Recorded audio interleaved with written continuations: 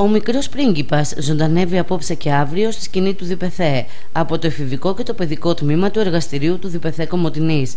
Μία παράσταση που αφορά παιδιά αλλά και ενήλικες, καθώς μιλάει για την αγάπη, τον θάνατο, την ανθρώπινη ζωή και τις αξίες, τη χαμένη μας αθωότητα. Λεπτομέρειες για την παράσταση έδωσε η σκηνοθέτης και δασκάλα του θεατρικού εργαστηρίου Άννα Μαχαιροπούλου.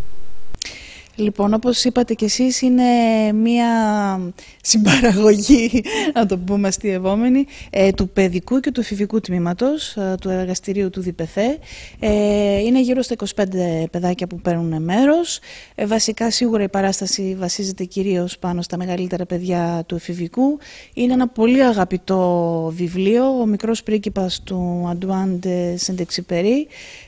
ένα πολύ τρυφερό ανάγνωσμα με πάρα πολύ βαθιά ε, φιλοσοφική ματιά πάνω στη ζωή ε, και με μεγάλη μου χαρά ανακάλυψα ότι ήταν το αγαπημένο βιβλίο τουλάχιστον των παιδιών του φιβικού. Το παιδικό είναι μικρά, τώρα το γνωρίζουν, αλλά αυτό μου έκανε μεγάλη χαρά γιατί ε, πάνω να πει ότι έχουν ενδιαφέρον τα παιδιά για κάτι παραπάνω ε, να διαβάσουν ή να μάθουν.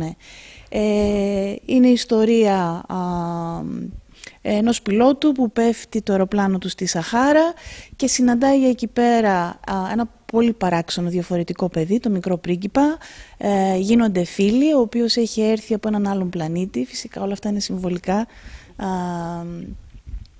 Ε, και ε, ψάχνει να επιστρέψει γιατί στον πλανήτη του άφησε ένα λουλούδι το οποίο αγαπούσε και κατάλαβε ότι κάθε τι που αγαπάμε πρέπει να το φροντίζουμε. Ε, όλα είναι συμβολικά και μεταφορικά σε αυτό, το, σε αυτό που θεωρείται παραμύθια, αλλά στην ουσία είναι και για μεγάλους. Τα παιδιά δουλέψανε με πάρα πολύ κέφι και πάρα πολύ χαρά. Να πω ότι η σκηνογραφία και τα κουστούμια είναι του Γιάννη του Καραγγιλμέζη, η φωτισμή είναι του Γιάννη του Δατζανά, ε, η διασκευή είναι δική μου και η σκηνοθεσία και θα χαρούμε πάρα πολύ που θα μπορέσουμε να το παρουσιάσουμε, να το απολαύσουν οι γονείς τους πρώτα απ' όλα και οι συγγενείς τους, αλλά κυρίως και τα ίδια τα παιδιά. Τα μηνύματα του έργου ανέφερε η κυρία Μαχαιροπούλου.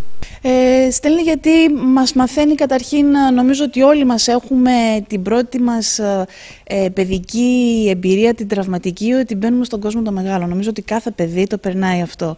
Μιλάει σίγουρα γι' αυτό το ότι έχουμε χάσει ως μεγάλη την αγνότητα. Ο μικρός πρίγκιπας την έχει κρατήσει. Είναι ένας αγνός, μια αγνή ψυχή είναι ο μικρός πρίγκιπας και νομίζω όλοι μπορούμε να το αναγνωρίσουμε αυτό και όλοι επιθυμούμε να ξαναγυρίσουμε σε αυτή την αγνότητα. Γι' αυτό και νομίζω κάνει το βιβλίο αυτό τόσο αγαπητό.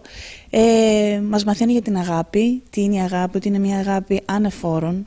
Δεν είναι σου αγαπάω γιατί θα μου δώσεις εκείνος, σε αγαπάω γιατί σε αγαπάω όπως κι αν είσαι και ό,τι κι αν είσαι.